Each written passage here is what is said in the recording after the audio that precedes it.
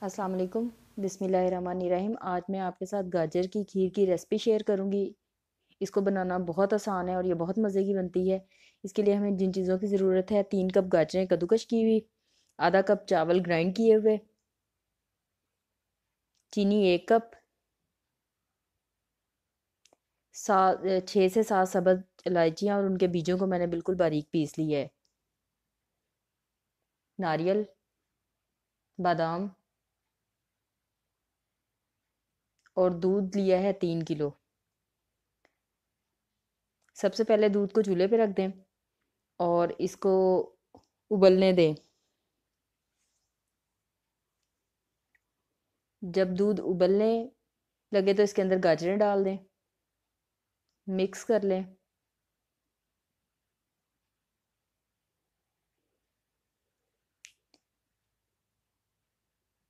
آگ ہلکی کر دیں۔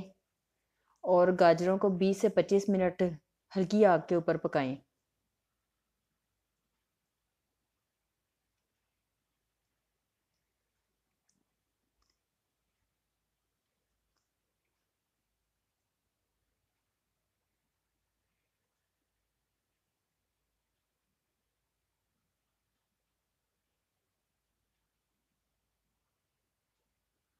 گاجروں کو جب پکاتے ہوئے بیس سے پچیس منٹ ہو جائیں، تقریباً بیس سے پچیس منٹ مجھے پکاتے ہوئے ہو گئے ہیں۔ اب میں اس میں، اس کے اندر گرائنڈ چاول ایڈ کروں گی، لیکن ساتھ ساتھ چمچ چلاتے جائیں تاکہ چاولوں کی گٹلیاں نہ بنیں۔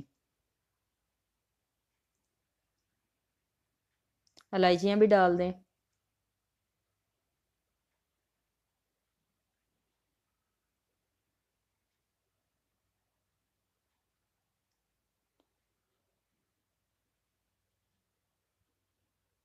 چینی ڈال دیں۔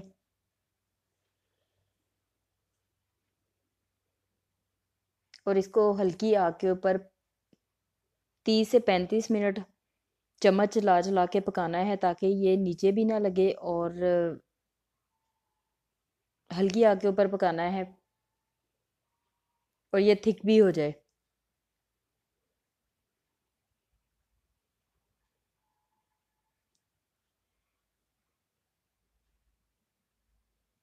کھیر کا سارا ٹیسٹ اس کے پکانے پہ ہوتا ہے۔ کیونکہ اگر ہم اس کو تیز آگ کے اوپر پکائیں گے، یہ پک تو فوراً جائے گی، لیکن اس کا وہ ٹیسٹ نہیں بنے گا۔ اس لیے ہلکی آگ کے اوپر اس کو چمچ چلا چلا کے پکاتے رہیں۔ جتنی زیادہ ہلکی آگ کے اوپر پکے گی اور جتنی زیادہ دیر کے لیے پکے گی، اتنا زیادہ اس کا ٹیسٹ مزے کا بنے گا۔ اس کو پکاتے ہوئے آپ اپنے حساب میں تھک کر لیں۔ بے شک زیادہ تھک پسند کرتے ہیں تو کر لیں۔ نرم پسند کرتے ہیں تو اس طرح بنا لیں۔ یہ ٹھنڈا ہونے کے بعد تھوڑی اور بھی تھک ہو جاتی ہے۔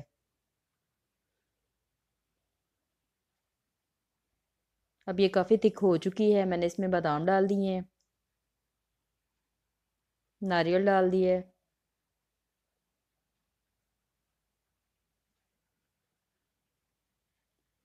اس کو مکس کر لیں۔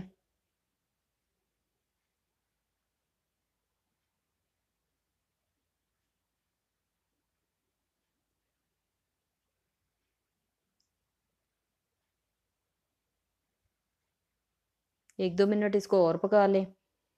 بس اب یہ بالکل ریڈی ہے۔ چولہا بند کر دیں اور اب اس کو ٹھنڈا کر کے سرو کریں۔ اگر آپ کو میری یہ ریسپی پسند آئے تو اس کو ضرور ٹرائی کیجیے گا لائک کیجیے گا شیئر کیجیے گا، میرے چینل کو سبسکرائب کیجیے گا۔ دعاؤں میں یاد رکھیے گا۔